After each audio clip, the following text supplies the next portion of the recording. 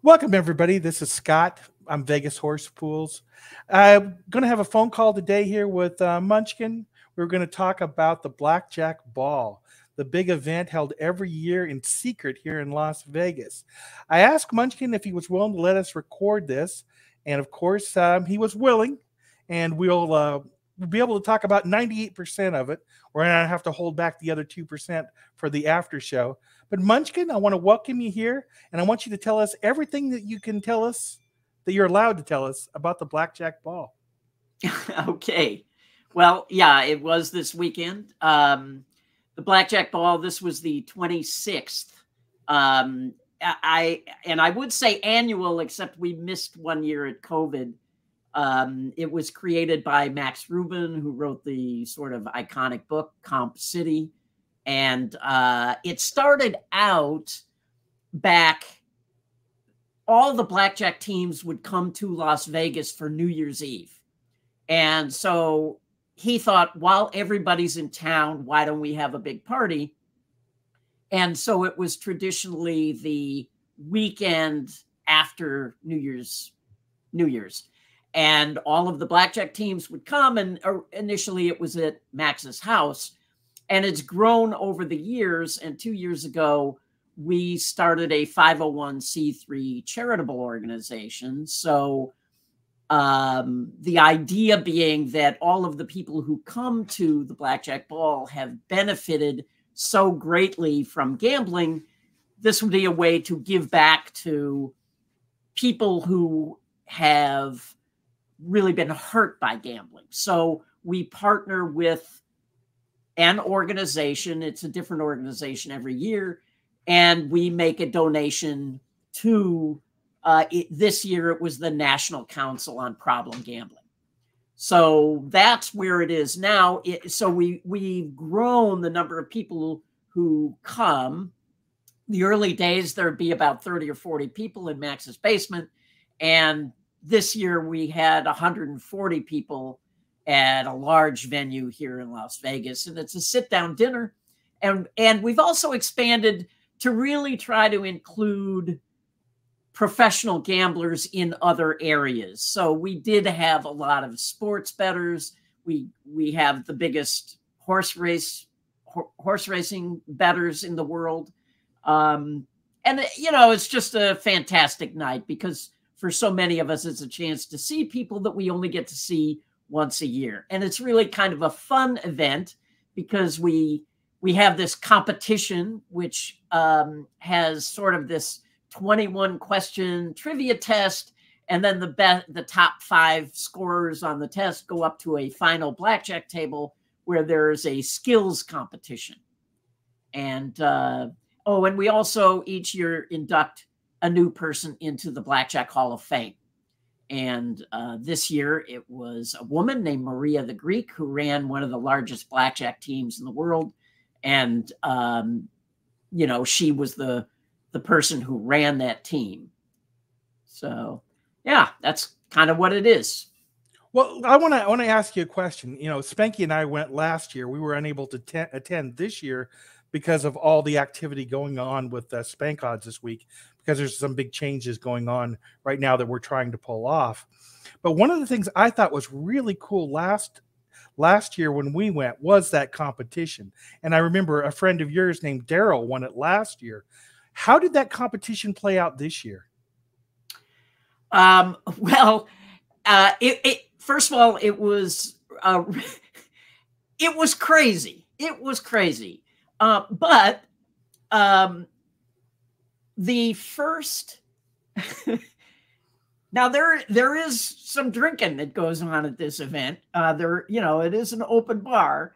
So the first competition is a skill of memorizing cards. And i spread a deck of cards and the players have 30 seconds to remember as many cards in a row as they can and they each have their own deck and they pull, you know, the first card out and everybody puts it face down and then we all turn them over at the same time and and we work our way through the deck this way to see who can remember the longest string.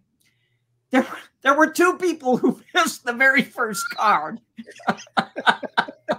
so, um, another uh, very interesting thing about the final table was uh, now a lot of the questions here uh, involve on the quiz involve blackjack, and and there are many that don't. There are other things, but uh, one of the people that got to the final table was a woman named Virginia, who is uh, Rufus Peabody's girlfriend, and she has never played a hand of blackjack in her life.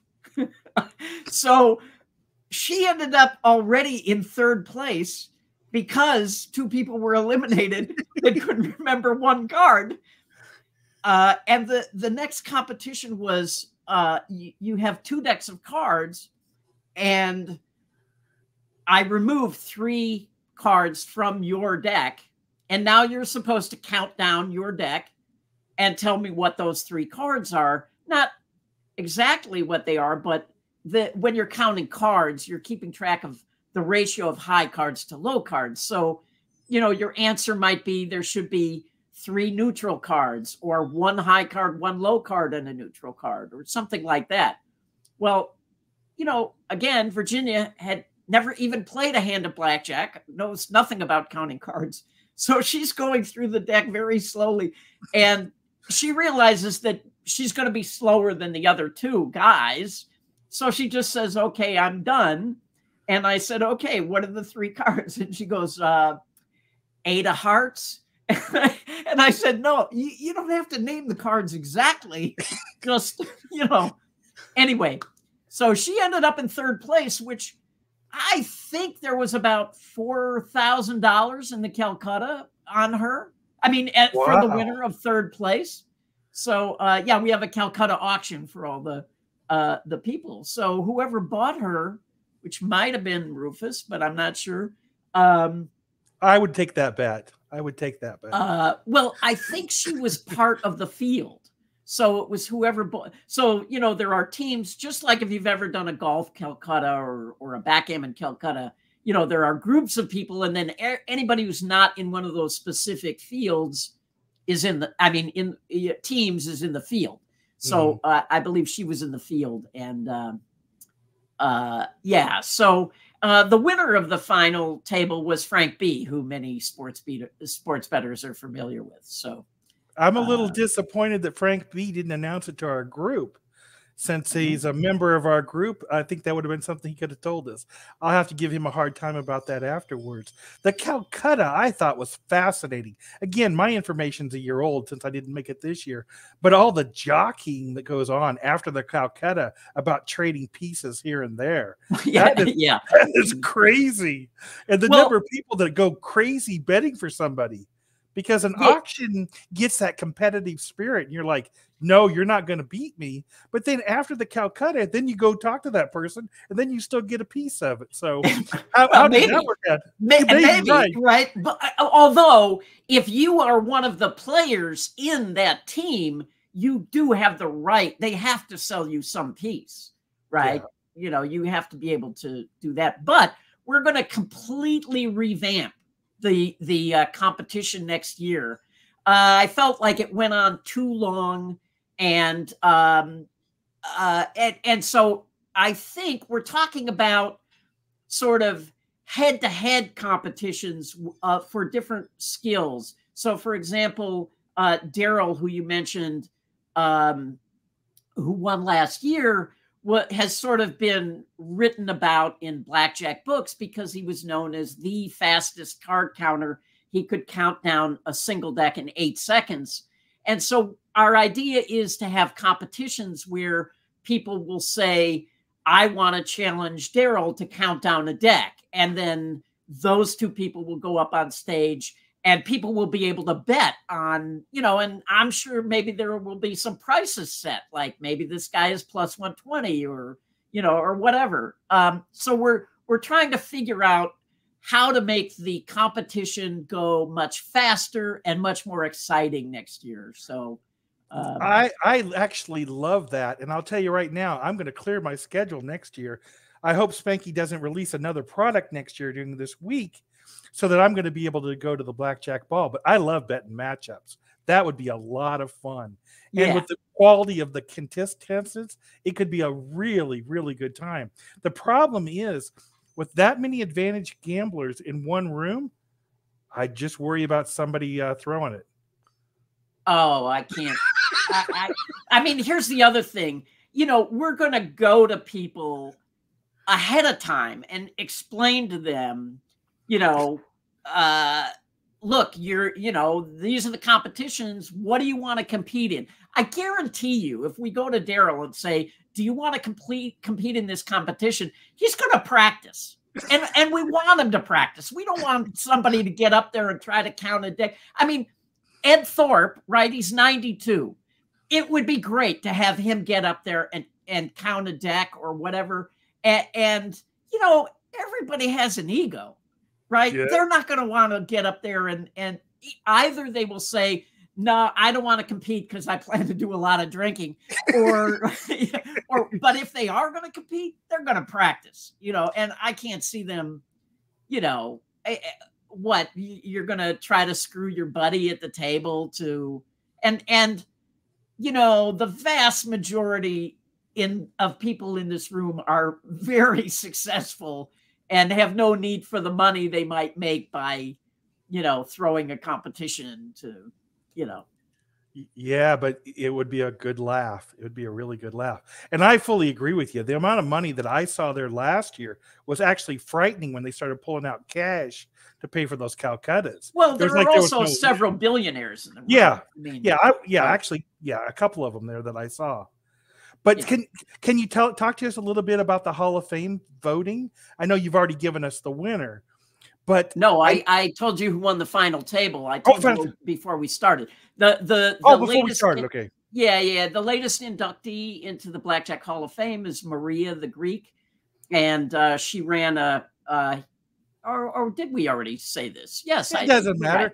right. People don't want to listen; they don't have to listen. I don't Yeah, care. yeah, yeah. I've Anyway, enjoyed myself. She she ran a very huge blackjack team, and and uh, so uh, she she's been on the ballot for several years, and she finally made it in, and and that's that's great. So That is good. So I know I remember last year. Did you have an, any entertainment outside? You had a guy last year uh, that was showing kind of like tricks on how to cheat. Yeah, uh, we had uh, a magician named Jason England, who people in the magic world all know Jason. Um, Jason was there this year, but he got there too late to actually, uh, you know, do any demonstrations for people. So, um, although he did some, you know, at at the tables uh, over dinner a little bit, and uh, uh, yeah, so he was there, but uh, he he didn't really uh, perform. Yeah, he last year he sort of demonstrated how you could get cheated at blackjack Mhm. mostly or at poker, just some of the different techniques that um, cheats use to, you know, take your money.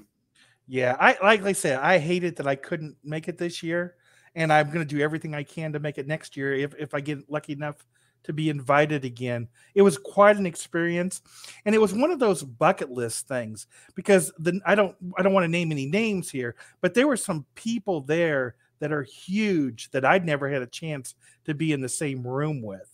Um, like like my uh, that attorney, a person that I'm a big big fan of from your from your uh, gambling with an edge show.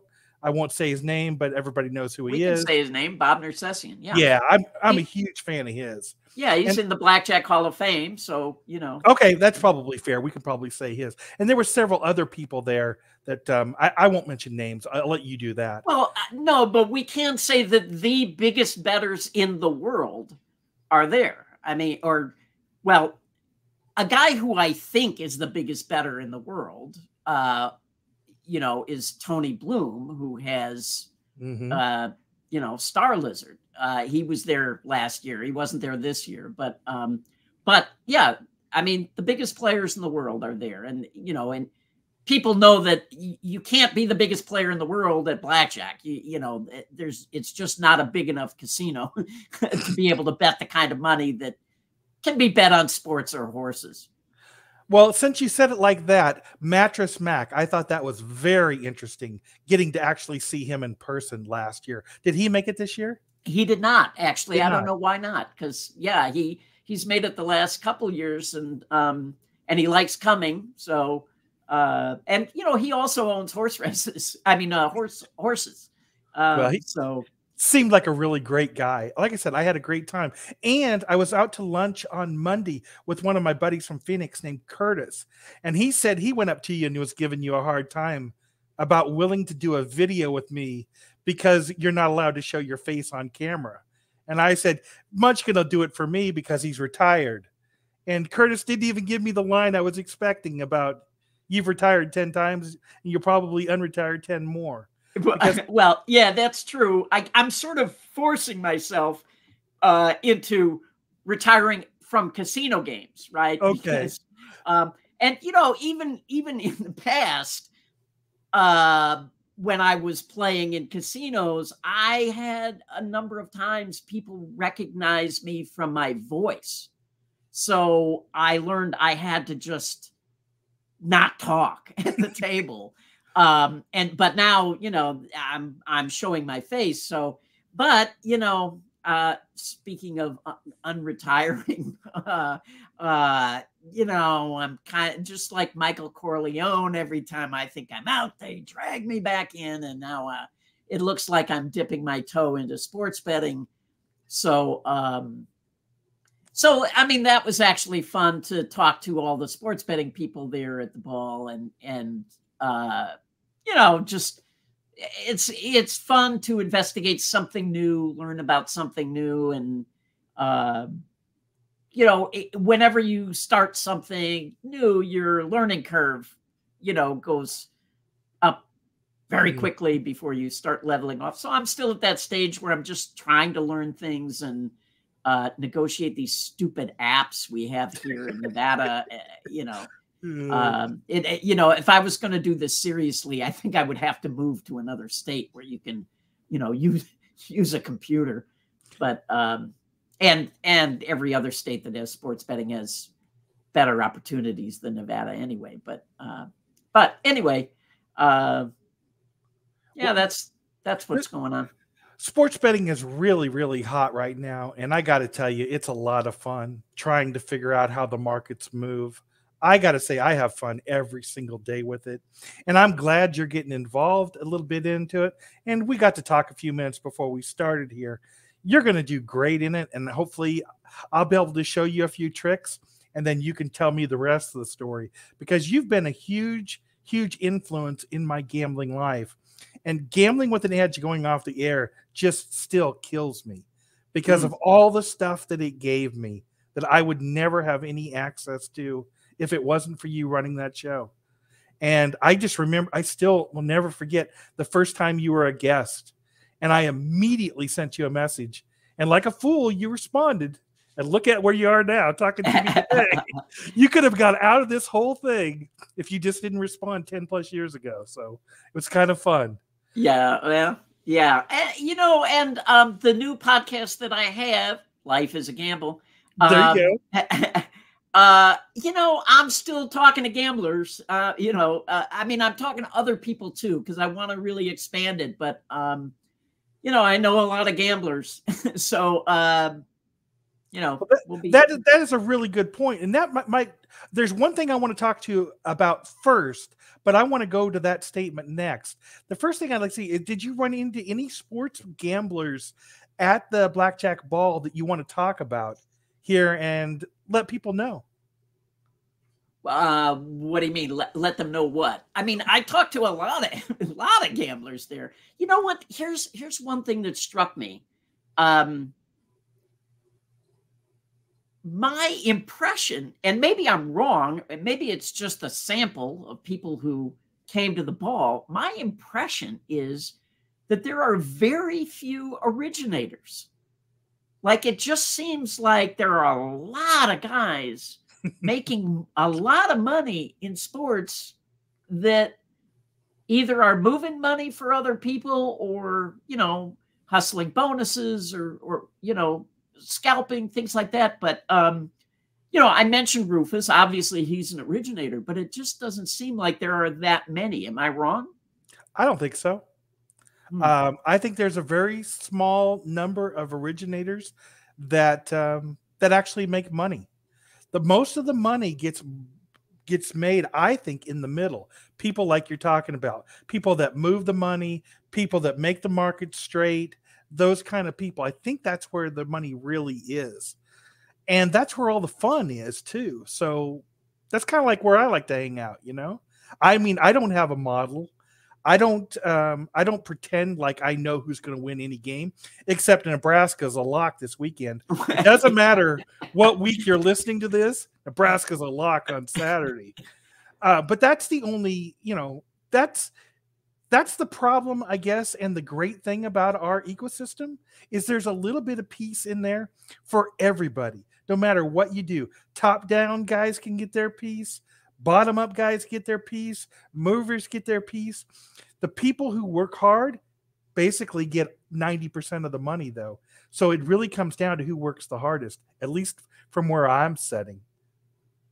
Well, uh, maybe we can answer some questions for people like me who don't know anything. Like, if you were an originator, do you know what what's what's the deal? Like, what's the standard deal if the originator, you know, he doesn't have a hundred outs? So I've asked this question, and the answer I've gotten is everything you can possibly imagine. I've heard free rolls, I've heard 50 50 splits, I've heard 20 80 splits there pretty much is no limit to the answer to your question. Wait, 20, 20 which way? Yes, I've heard both. oh, I mean, there's yeah, no number crazy. There's no number that you can tell me that I haven't heard because that part of the business I'm not involved in because I don't have an originate. The originators that I deal with are friendly originators, meaning we're kind of on a team together. Uh-huh. So so it doesn't deal with those kind of percentages, which I'm very very lucky with. So, yeah. but like I said, I've heard the free roll one, which is the most fascinating one to me, because you got to have an awful lot of trust if you're the one putting up all the money and you don't even know exactly that the person has the edge they're claiming. So it's a very risky business. It kind of reminds me of staking somebody in a poker tournament because yeah. I mean they could they could be a terrible player. They could uh, they could have a great run and convince you they're a great player. It's just it's it's so hard when you're going to do business with somebody to make sure that both sides get treated fair. Personally, that's why I try to have as very few people that I deal with as possible because I don't want those kind of uh, I don't want those kind of problems in my life. But it definitely limits my income. Oh yeah, and I just found, you know, from the from the blackjack world, I I should say from the casino world because you know we played a lot more games than blackjack, but from the casino world, even though certainly I had money stolen from me, skimmed from me, you know, scammed from me, I feel I made a lot more money because I always had partners and teammates and uh and things. So um yeah, yeah. It's okay. So, so is there something? So next year, when the blackjack um, ball gets announced and you start handing out invitations, tell me why a sports better should send you a message and say, "Please invite me." What kind of sports better would would do the best at the blackjack ball? Do the best uh, uh Network, for themselves personally? Oh yeah, yeah. Networking, Oh, what? well, it's very much like Bet Bash in that you're going to meet like the top professionals in the world. And, you know, and and I can't tell you I I mean, there are so many guys that I hear, "Oh, you know, this guy is now betting X for that guy. And I'm like, how does he know that guy? Like that guy lives in another country and is one of the biggest players in the world. And it'll be like, oh, he met him at the blackjack ball. You know oh, what I mean? Cool. So, uh, I, I mean, I, trust me. First of all, um, you you don't just just because you want to go does not mean you get invited. and Right. and and nobody who works for a casino can be invited. Um, so you know, I, I mean, if somebody did that to me, messaged me and said, you know, hey, I'd really, I mean, I get these messages a lot actually. I'm sure. I'm sure. Um, you know, the the first thing I'm going to do is start asking people, you know, who is this guy? Do you think he would be a good fit? You know, does he have a good reputation? You know, that kind of stuff. I completely understand. And I and I figured you got tons of those messages. So even though people are going to hear us say that, I don't think it's going to get you that many more messages than you're already getting flooded with. But I do want to you know what? Some people are just not very social. They don't feel comfortable in a room, you know, at, at a party like that. To they they can't just go up and say, "Hi, I'm Bob," you know, and and um and start a conversation. So so it's not, you know, it wouldn't be for everybody anyway. But um Very true. And that is a perfect transition to what I want to talk about next. And I don't think I warned you I wanted to discuss this, but I still do. uh, I want to talk about networking because what you just said is a really hard thing for me. I'm an introvert, I'm not an extrovert like you are. I have a real hard time going up to somebody who I've never talked to before, even though I know everything about them. Okay it's hard for me to go up to them and to start that opening line. I love it when people come up to me because I don't have to go up to them. So it makes it so easy for me. So remember when you and I were together at Bet Bash 2, let's go back to Bet Bash 2 for a second. Um, you were introducing me to everybody because everybody knows you. Well, that makes it easier, right? So you don't have to approach somebody by yourself cold and just walk up. If you know somebody that knows uh, that person, you can always just say, "Hey, would you introduce me to them?" And that that can open a conversation for you. But That- the other thing, what you just said, you love when people come up to you. Well, just think that they probably love when people come up to them. So, you know, Uh, that's a harder stretch for me because Yeah. I just know how easy it was for me at Bet Bash 2 because you took me up. Well, you introduced me to John Wilson and then tried to explain to me who he was, which I thought was hilarious a couple hours later after I finally understood the whole story. But it was so great to have you as a wingman to just take that pressure off me because that's something I can't do. I have yeah, a we'll really have hard- Spanky do it for you next year. well, the pro here, well, here's the problem. Here's the problem with Spanky. I'll just tell you, he's really busy at Bet Bash. It's the same problem I had with you at Blackjack Ball last year. You were too busy to guide me around yeah, because you had yeah, other yeah. stuff going on. So but I Spanky won't be busy at if The he's at the blackjack ball. I guess kind of like you helped me at the at uh, Bet Bash number two. So that's a good point. I just somehow I need to find a way on the Blackjack Ball Day and on Bet Bash Day to switch from an introvert to an extrovert. And all the only thing I can do is in my mind. I keep saying, "What would Munchkin do? What would Munchkin Oh, do?" And try to do that Please. because I, I it's really a struggle for me going up to people. I mean, there's three people sitting at a table and I want to talk to two of them. The third one, I'm not sure who he is. How do I interrupt that conversation? I mean, Well, yeah. I mean, that's a problem because you don't want to interrupt the conversation. You probably want to wait till it's over and then, you know, and then introduce yourself or whatever. Maybe take some drugs. I hear ecstasy uh, makes you more. you know. I- I need to have my whole facilities when I'm uh, discussing things because I got to tell you, it's valuable that you the people you meet, and the more people yeah. you meet. Now you've argued with me about this for years, but I'm going to say it again. Let you argue again.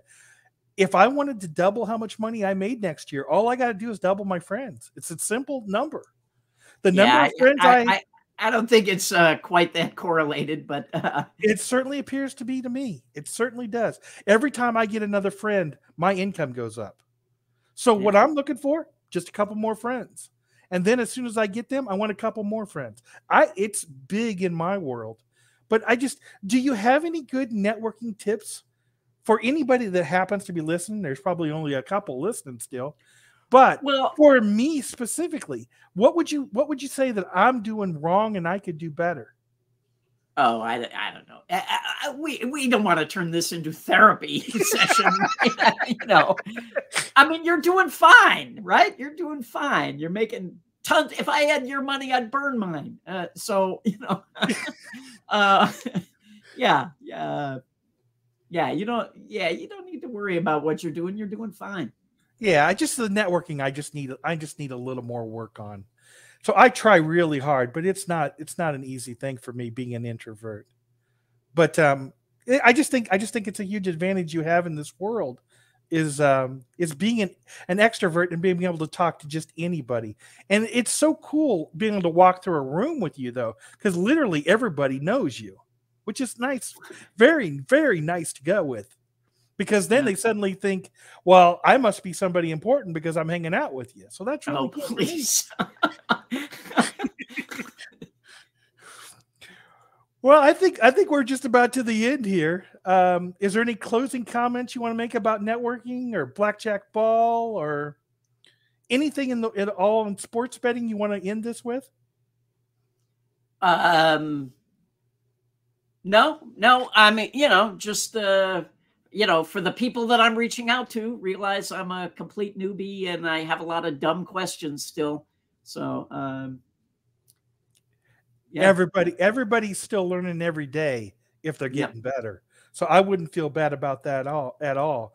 But to wrap this up, I just want to say if you have any questions about Spank Odds, you can reach me as a DM on Twitter. I'm at Spank Odds. If you have any questions for me, my uh, personally, you can send it to me at Vegas Horse Pools. Of course, Richard is on um, Twitter. He's at RWM21 on Twitter. Reach out to any of us. I want to thank everybody for your time. And if you enjoyed the podcast or the uh, recording or whatever you want to call this crazy call, uh, please give us a like and maybe subscribe on the YouTube, and uh, we'll put more of them out. Talk to you guys soon. Thank you very much.